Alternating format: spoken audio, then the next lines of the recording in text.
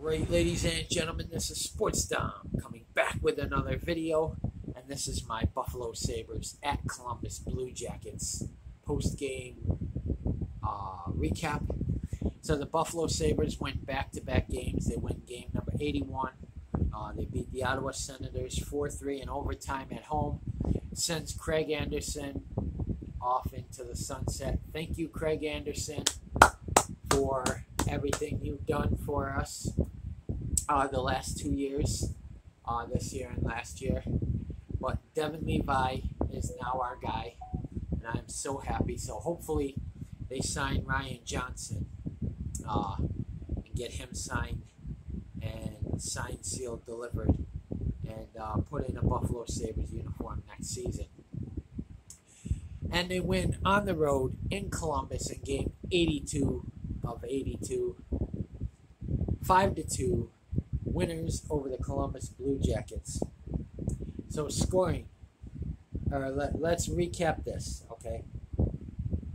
Devon Levi was in goal for this game as Craig Anderson was in goal last night in our last home game of the 2022-2023 season uh, against the Ottawa Senators. He his last game uh, was played as a Buffalo Sabre, and he beat the team he played for most of his career, the Ottawa Senators. So, and tonight, the Buffalo Sabres win on the road in Columbus, five to two, for a 42, 33, and seven finish of the season.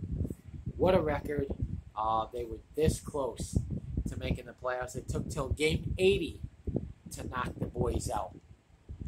So, um, thank you, Buffalo Sabres. Uh, it was a good season. We came very, very close to the playoffs. Uh, thank you, Craig Anderson. Uh, good luck in your retirement.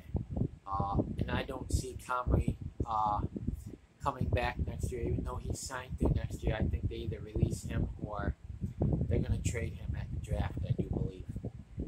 So, goals Buffalo 5, Columbus 2. Shots Buffalo 35, Columbus 31. Block shots Buffalo 12, Columbus 15. Hits Buffalo 5, Columbus 15. Face-offs Buffalo 20, 29, Columbus 21. Both teams were 0 for 1 on the power play, and both teams only had two minutes uh, power play minutes or penalty minutes. They each only had one penalty. So, scoring in the first period at 34 seconds, it was Columbus Blue Jackets. Johnny Gaudreau, his 21st of the season, assisted by Tim Berni, his second, and Adam Boqvist, his 19th. And after one, it's 1 nothing Columbus. So, uh, the BJs lead after one. But the Sabres explode in the second period. In the second period at 8.36, it was Buffalo's Jeff Skinner, his 35th of the season, assisted by Casey Mittelstadt, his 44th of the season, and it's a 1-1 hockey game.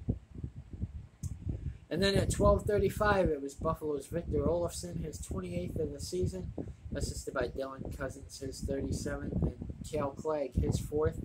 And it's a 2-1 Sabre lead. And then at 14.01, it was Buffalo's Alex Tuch, uh, his 36th of the season, assisted by Jeff Skinner, his 46th. And it's a 3-1 Buffalo Sabres lead. And then at 18.24, it was Columbus Tyler Angle, his first of the season, assisted by Andrew Peeke, his 7th, and Gavin Bayreuther, his 12th. And after two, it's a 3-2 Sabre lead. But the Sabres aren't done. At 4.03 in the third period, it was Buffalo's Casey Mittelstadt, his 15th of the season, so he scores in back-to-back games as he scored last night against the Ottawa Senators. Uh, assisted by Jeff Skinner, his second of the game, his 47th of the season. And it's a 4 to Buffalo Sabres lead. And then at 17:27, it was Buffalo's Peyton Krebs, his ninth of the season, unassisted it's a five to two Buffalo Sabres win. So Don Granato had them this close to the playoffs. I believe with this win, we finished like one point out or something. One point. One point. Now imagine if we beat New Jersey the other night and we're clinching a wild card playoff spot tonight with the win.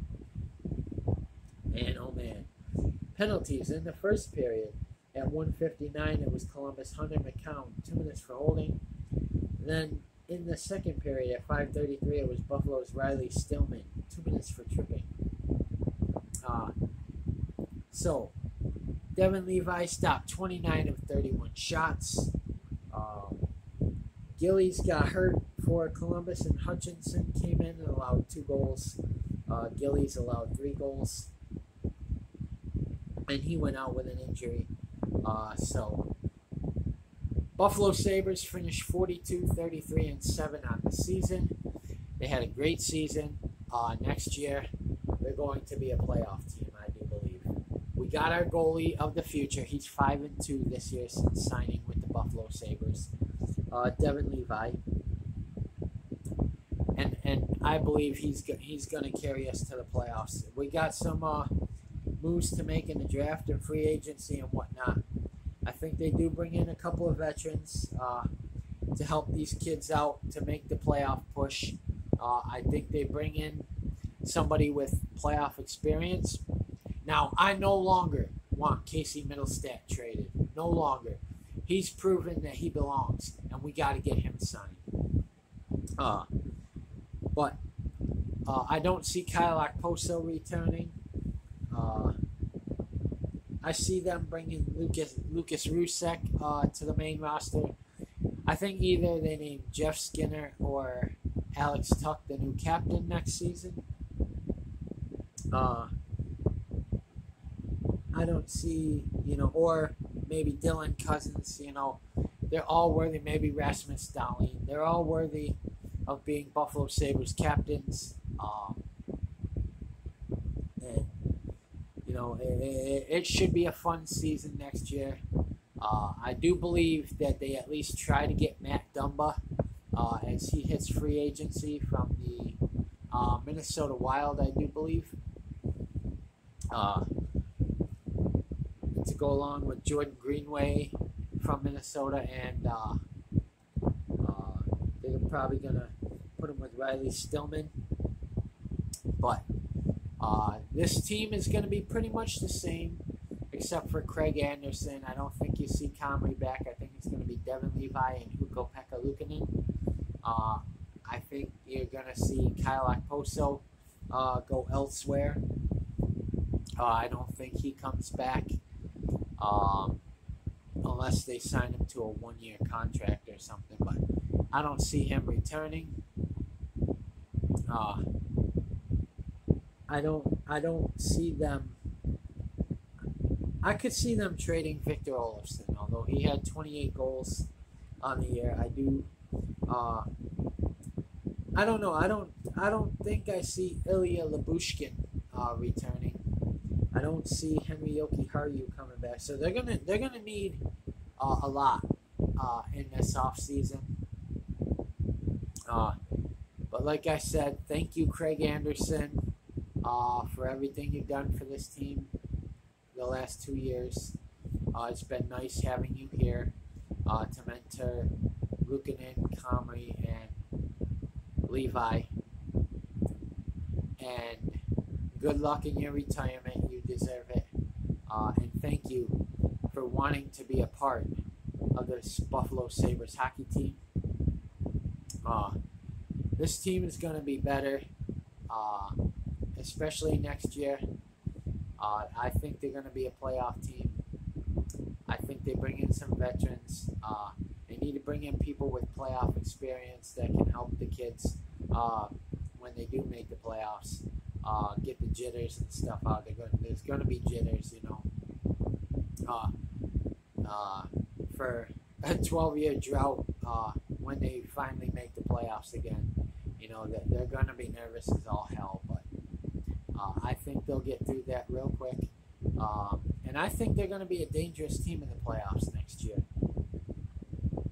But uh, guys, comment in the comment section below on what you think. And as always, if you like my videos, like, subscribe, and hit that bell notification so you don't miss a video. Thank you, Sabres. Thank you for all the Sabres fans who talked hockey. Rome Hockey is one of the biggest ones. Thank you to him. Uh, thank you to everybody uh, who did videos throughout the Buffalo Sabres season, and I hope you continue to do them in the off season. Comment in the comment section below on what you think. And as always, if you like my videos, like, subscribe, hit that bell notification so you don't miss a video. Again, this is Sportsdom. Peace. Go Sabres. Thank you for an awesome season, and I can't wait for the 2023-2024 Buffalo Sabres season. Go Sabres.